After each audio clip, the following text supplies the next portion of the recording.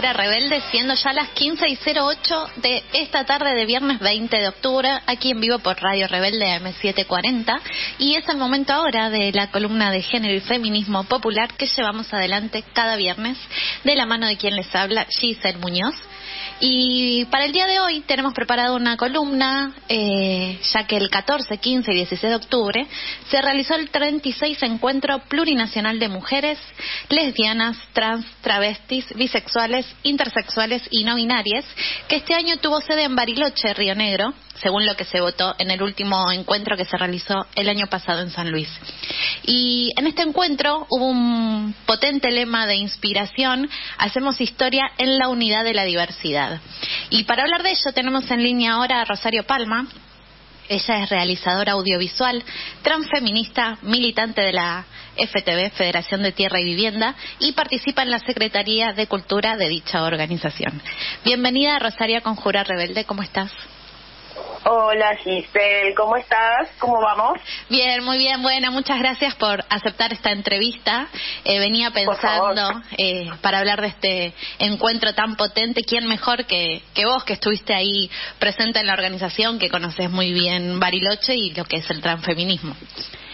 Qué bueno, gracias. ¿Te puedo decir Gillo? Sí, claro. Ay, bueno, gracias. Sí, sí, sí, acá la sentada ya está acostumbrada a también que, que me digan así, sí, no hay problema.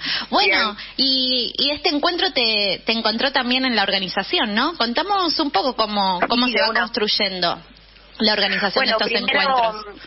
Primero saludar a todos, a todos, a Diana ahí en la operación, a mis compañeras de la FTV que, que también estuvieron en, en el encuentro, a Norma que estuvo organizando durante todo el año prácticamente acá en Furilovche para poder recibir a las compas. Eh, y bueno, y también contar que, que nosotras, en el Nosotras te incluyo, eh, que trabajamos en, en la militancia eh, por el movimiento nacional y popular, el ámbito de la cultura, sabemos que encontrarnos es la base de, la, de las herramientas poderosas, ¿no? Y por eso existen las asambleas. Bueno, en la cultura mapuche le dicen traum a eso de encontrarse y conversar hasta, hasta ponerse de acuerdo sobre una cuestión. Y mm, cuando se decidió en San Luis que el encuentro era, el siguiente encuentro era acá para acompañar la lucha por la libertad de las presas mapuche, todas las personas que vivíamos en Bariloche en ese momento y que estábamos eh, encontrándonos, ¿no? En los espacios de activismo feministas y en los espacios populares, eh, nos pusimos muy, muy felices y yo la verdad que fue, fue una fiesta, fue mm, sentirnos acompañadas como manada que quiere transformar las cosas desde esto de que tengamos equidad de acceso a los privilegios y a los beneficios y a los derechos humanos, todos los géneros, todas las todas las clases sociales, ¿no? Y todas las culturas, en interculturalidad acá en el sur hay un, un despertar súper fuerte de el Nehuen, como le dicen las Mapu, a esta fuerza que, que nos une, a esta fuerza cósmica, ¿no? Que nos une a todos los seres y eh, las personas, en los últimos años, viste, yo soy migrante acá a Río Negro, a Bariloche, viví acá cinco años, eh, y en los últimos años, eh, a partir de la, de la, escuela, encontrarse en la escuela, a partir de acompañar denuncias de, de abuso, ¿no? De agresión sexual infantil, de eh, situaciones de violencia de género, nos fuimos fortaleciendo un grupo muy grande, muy muy diverso también, Gillo, de compañeras. Entonces ya, mira, volvieron de San Luis las cumpas y a la semana siguiente estábamos juntándonos acá en el Quincho de Ranquehue, enfrente de donde vivo yo, que es Villa Los Coihues, una comunidad ancestral que permanece acá en el territorio y que son siempre muy generosas para que nos encontremos y fue la primera reunión el 24 de octubre del año pasado. Y ahí en adelante, hasta 24 horas antes de que empezaran a llegar los micros, las cupas no pararon nunca. Yo me tuve que salir de los grupos porque no podía más estando en Buenos Aires de nuevo, ¿no? Así que bueno, un fiestón, la verdad. Eh, mucho para mejorar, mucho para criticar también, pero bueno, la verdad que celebrar la oportunidad de, de, toda la cantidad de mujeres lesbianas, travestis, trans, no binarias, intersexuales, bisexuales, travestis que nos encontramos, ¿no? En 112 talleres hubo un montón. Cada año suben, ¿viste? Sí, sí. Contanos un poco de los talleres, que es una de las cuestiones más emblemáticas de los encuentros, ¿no? Poder abordar temáticas eh, de forma democrática, que todas las compañeras y compañeras tengan la posibilidad de hablar, de contar sus experiencias. Vos estuviste coordinando coordinando uno. Sí, la verdad que se escuchó muy muchas veces en, los micrófonos abiertos a lo largo del encuentro decir que los talleres son el corazón del encuentro y posta que se siente así.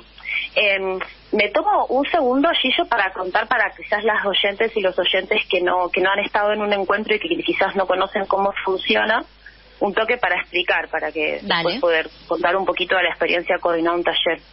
Eh, bueno, los encuentros nacen con, en, digamos, en una cocina con unas compañeras conversando sobre, sobre las violencias domésticas que estaban viviendo y dándose aliento para salir adelante. Eso fue hace 37 años, entonces eh, yo, vos, nosotras lo agarramos ya reempezado, ¿no? yo creo que el primero que fue fue el 30 y pico, ponele. Cuestión que lo que se hace es aprovechar el feriado del 12 de octubre, que siempre se mueve para que sea un lunes o un viernes, todo, siempre en el calendario argentino, y así nace el Encuentro Nacional de Mujeres, hospedándonos en escuelas públicas, donde también nos juntábamos en aulas a, replicar un poco eso que pasó en la cocina, donde empezó el movimiento feminista organizado de, Argentina, que después se autodeclaró plurinacional, ¿no? Porque claramente empezaron a llegar compañeras de otros territorios que no tenían que ver con las provincias de Argentina y se quiso también incluir eso y una matriz de entendimiento de nuestra de nuestro territorio eh, que nos une como hermanes argentines, ponele, entendiéndolo también más allá de las fronteras e incluyendo los pueblos originarios de, este, de estos lugares, ¿no? Por eso cada año el encuentro se declara en territorio y se nombra a los pueblos originarios de, eh, de la provincia y de la ciudad que nos recibe. Ponele, el año pasado, que fue en San Luis, fue en territorio Ranquel y Huarpe. El anterior, que fue en La Plata, fue en territorio Querandí. Y este es en territorio Mapuche Tehuelche. Entonces, eh, se aprovecha el feriado del, del 12 de octubre, se recibe a las compañeras de todo el país que puedan venir autogestivamente y el sábado a la tarde, el domingo a la mañana y el domingo a la tarde se debate en un aula sobre un tema. El año pasado fueron ciento y pico, el anterior ochenta y pico, bueno, este año fueron 112 temas organizados en ejes. Yo estuve en el eje 9, educación, con un taller de feminismos, transfeminismos y perspectiva de género.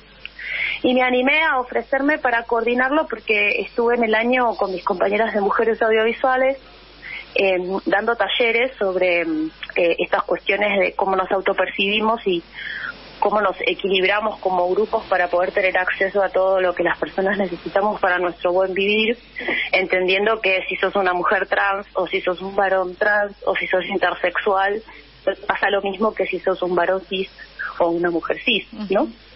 Entonces, ah, dejando de hacer oídos sordos a eso y siendo activas al respecto, es que nacen todos estos activismos LGBT que nos encontramos, ¿no? En esta idea amplia del transfeminismo, o un feminismo que tiene a las personas que, que se autoperciben con un, con un género diferente al que les fue asignado al nacer por una cuestión de biomedicina, eh, que puedan tener un espacio también. No y no considerarnos las mujeres, y sobre todo las mujeres blancas o las mujeres universitarias o las mujeres argentinas mejores que otras personas, ¿no? Entonces se intenta desde entender todos los conceptos del feminismo que tienen que ver con la conciencia de las mujeres sobre su opresión y buscar estrategias diversas para poder solucionarlas, superarlas, eh, pero incluyendo también todo lo que se autopercibe en disidencia con, la biomedicina, ¿no? O, o las estructuras que nos atajan cuando, cuando venimos al mundo. Sí, sin duda. Y te sumo eh, el transfeminismo popular, ¿no? En, en estas épocas, eh, que es necesario también nombrarlo así, eh, corriéndonos de, de, estas líneas liberales que quieren eh, que aparecen, ¿no? Como una corriente dentro del feminismo. Sí. Y vos, Gillo, te, te puedo repreguntar, ya que vos también estás con esto. Eh, ¿Vos cómo, cómo percibís esto del, del transfeminismo y sobre todo el transfeminismo popular? Bueno, es una discusión acá en estas columnas, yo lo vengo sosteniendo desde el primer día, este posicionamiento que es muy necesario porque si no le ponemos perspectiva de clase, si no incluimos dentro de que lo que son las mujeres y la, eh, el transfeminismo, la cuestión de clase, nos quedamos alejadas, ¿no? De, estas diversas opresiones y de esta interseccionalidad que es necesario que, podamos eh, abarcar, ¿no? Y desde ahí cuestionar y hacer esta gran revolución que estamos haciendo porque si no, si no damos estas discusiones, queda muy licuado o vienen a hablarnos de feminismos eh, blancos, liberales, que no, que no consideran realmente las, las opresiones patriarcales y de clase, y más en, nuestro, en nuestra situación territorial, ¿no? Como una, la, una región eh, latinoamericana, eh, queda como todo muy vacío. Así que me parece que es muy importante y creo que estos en los últimos encuentros se viene debatiendo fuerte, ¿no? Eh, este posicionamiento. Sí, de hecho, por eso somos un encuentro plurinacional autogestivo, ¿no? Que, o sea, una de las cosas que también celebrábamos acá era que había sido un encuentro sin violencia, sin las gas lacrimógenos, sin correr de la policía, como nos ha pasado en otros momentos, porque realmente hay un contexto en los últimos dos años en donde el feminismo y la lucha de, de, las mujeres por acceder a sus derechos y por superar las violencias y los transfemicidios y los femicidios organizadas, cuidándonos entre nosotras. Hay una institucionalización que le sucedió a este encuentro que tiene el doble filo de, de, la institucionalización, Gillo, realmente, ¿no? O sea, como hay que ver ahora cómo hacemos la transfeminista, sobre todo las de Furilovche, eh, las de la región, una región súper castigada por, por las violencias desde desde una matriz política en donde el, el, movimiento nacional y popular que nosotras conocemos por haber militado juntas en Buenos Aires es distinto en cada provincia, ¿viste? Sin duda. Y acá hay una matriz peronista súper fuerte y hay una conciencia de derechos adquiridos que la, la, gente la defiende con, con uñas y dientes, digamos. Más también eh, son espacios que tienen sus propias cúpulas y microcúpulas de poder y yo creo que ese es el gran desafío, Gillo. ¿Cómo hacemos nosotras, hermanas, hermadas, eh, la misma manada, para compartir los espacios de poder, para darle la voz a todas las voces, eh, para incluir, y sobre todo en un territorio en donde se están alzando autoridades espirituales, como es el caso de la Machi, de, de las Lamien, de las mujeres ahí de, la, de Mapu, de la comunidad que se está autoafirmando, o sea, en los estados por ley tienen que acompañar ese proceso, no violentarlo. Entonces, es. un gran desafío, ¿viste? Porque hay una tensión muy grande entre el feminismo blanco, que es el dueño de las banderas, el, que se autopercibe como el dueño de cierto derecho de hablar de cierta cosa, y eso, ¿viste? Nosotras que somos asamblearias, militantes como que sabemos lo que es un plenario, que no sé, somos delegadas en nuestras escuelas, somos delegadas en nuestras oficinas o lo que sea, ¿no? Tenemos el, el honor de tener una práctica de hermandad y de articulación de la palabra sin ver quién sabe hablar mejor. Me gustaría como invocar un poco esa fuerza, ¿viste? de, del círculo, del círculo de palabra y no de la pirámide y a ver quién habla y quién no habla y me parece re importante como seguir encontrándonos en este tipo de encuentros para poder practicar esto de de conversar sobre un tema y, y el, eh, escribir unas conclusiones, digamos, ¿no? Que es lo que sucede en los talleres. Eh, y Ro, ahora trayéndonos, digo, eh, este encuentro se dio justo a una semana de, de las elecciones que van a acontecer ahora sí. este domingo y a los transfeminismos nos encuentra eh, en una situación de alerta, ¿no? Y creo que algo muy sí. potente que, que venimos viendo en, en los últimos meses es que realmente logramos hacer unidad en la diversidad, ¿no? Porque hay diversidad como sí. venimos conversando dentro de los transfeminismos. ¿Eso cómo lo viste en el encuentro? Digo, ¿hubo un posicionamiento? ¿Se, se charló sí, de esto? Contanos, a ver. Mira, para la sorpresa positiva de, de nosotras con, con Ana Caropón, con Norma, con todas las compañeras de la FTV, con puedo hablar de las 70 personas que pasaron por el taller que yo estuve coordinando, ¿no? De, de matrices y de provincias re diversas. Eh, todos estuvimos de acuerdo en, en defender un modelo eh, en que, que no, no estamos dispuestas para, a dejar atrás los derechos que logramos y se habló abiertamente tanto en el taller como desde el escenario se llamó a votar a Massa. Uh -huh. Se llamó a votar a Sergio Massa, a Unión por la Patria, están los videos, lo van a ver. Eh, espero que esté transcrito en las en las conclusiones de todos los talleres que van a estar publicados en la página web. Ahorita están todavía los de los del encuentro de San Luis, me dijo Vero, una amiga.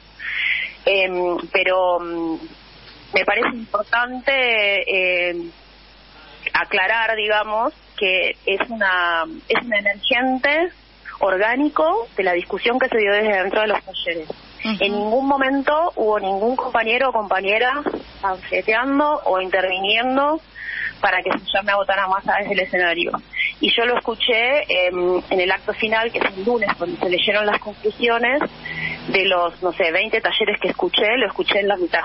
Claro. Como hablar del modelo e indirectamente para defenderlo o directamente mencionar la importancia de votar a masa en el domingo que es lo que yo escuché. Sí, sí, no, y lo que yo viví. En, en el acto que se realizó, la marcha que se hizo el 28 de septiembre, en el marco de, Día de Acción por el Aborto Legal, esto también fue muy claro, ¿no? Y yo una de las reflexiones ah, que, que hacía acá es que los feminismos, los transfeminismos, eh, hicieron eh, que muchas personas que, que encontraron en este espacio un lugar de militancia, entendieron también la política, ¿no?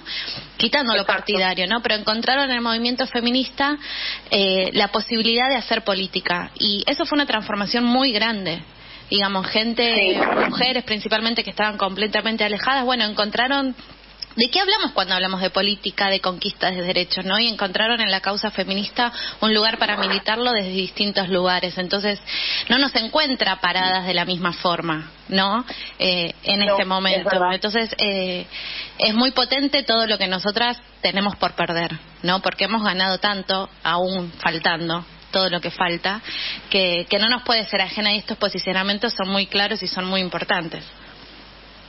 Sí, coincido con lo que decís y, mm, y además me gustaría agregar que, que la práctica feminista es en sí una escuela política, ¿no? Un modo de, de poder involucrarte en la necesidad de opinar y de co-crear el ámbito en donde vos te desempeñás, donde trabajás, donde van tus hijos, donde compras la comida, donde sembras tu tierra, donde levantas tu casa, porque te afecta, te afecta como mujer, te afecta como traba, como varón que quiere ir a sacarse lo que no quiere tener para poder ser varón y que sea trans y hacerse cargo de eso y de llevarlo adelante como algo que tiene que transformar la realidad alrededor, pero que nace desde nuestra propia matriz, desde nuestra existencia, ¿no?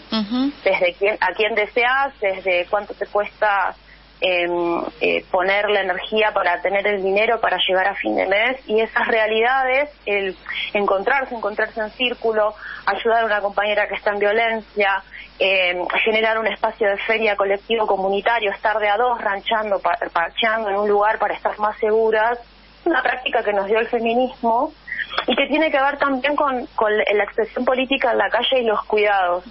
Y mira, te voy a contar una anécdota. Yo aprendí a marchar con el centro de estudiantes, íbamos cortando la calle porque mi escuela no tenía agua en los 90.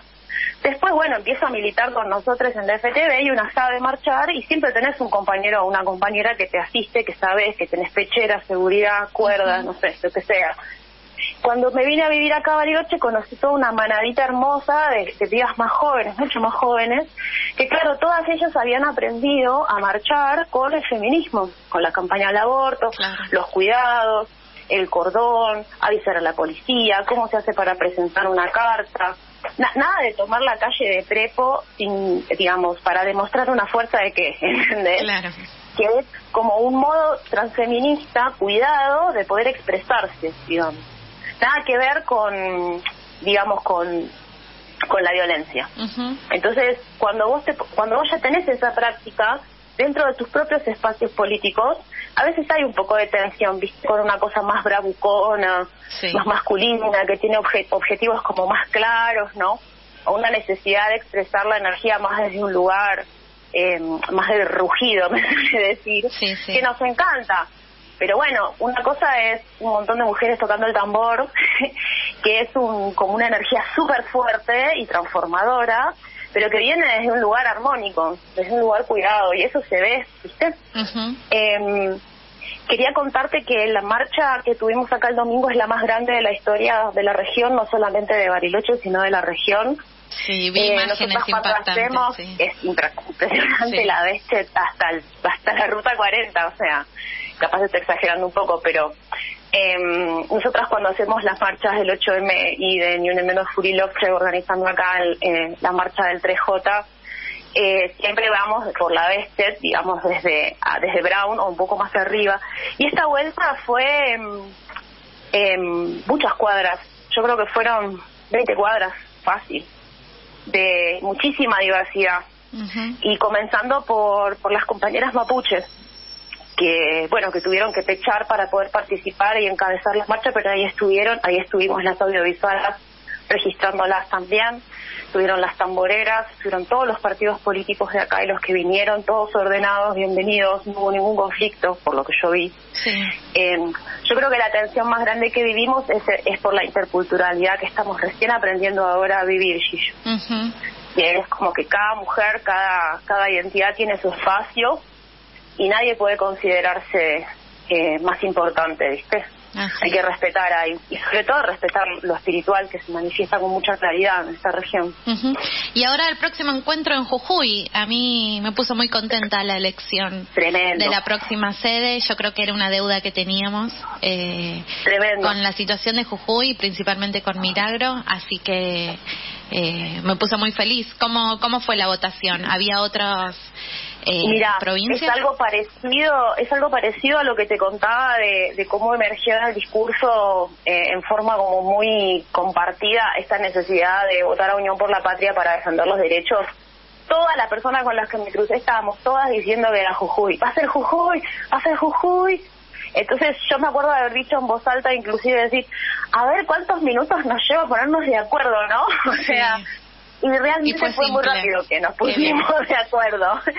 eh, lo cual es muy hermoso también, ¿no? Como para poder explicarle a los compañeros y a las compañeras que capaz están recién escuchando hablar por primera vez de esto de los, de esto de los encuentros plurinacionales de mujeres y disidencias hacia autogestivos que mueven 100.000 personas. Eh, que siempre en cada cuarto se vota el siguiente y que siempre como fuerza colectiva estamos yendo a acompañar los rincones de la patria que están más en riesgo los derechos. Esa es nuestra misión, digamos. Y cada compañera que viene se va a empoderar y se vuelve a su territorio. Me crucé con más de, las, de la mitad de las personas con las que me crucé participando. Era la primera vez que iba Gillo a un encuentro.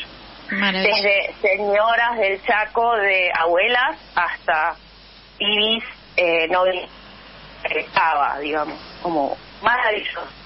Bueno, nos encontraremos en Jujuy, entonces, eh, el año que viene. Y bueno, Ro, te agradezco mucho todo, todas las reflexiones, el análisis, la crónica del encuentro. Muchas gracias, Gillo. Nos bueno, vemos Jujuy. Nos vemos en Jujuy y nos vamos escuchando un tema que contanos fue con el que cerró el encuentro. Sí, eh, se leyó, se leyeron las conclusiones de, de ayer 112. Sí. Fue como maravilloso a las 2 de la tarde del lunes y pusieron este tema de bomba estéreo. Bueno, vamos a un abrazo. Un abrazo. Ah, y la seguimos, Cupa. Claro que sí. Bueno, ahí pasaba Rosario Palma, realizadora audiovisual, transfeminista, militante de la FTV.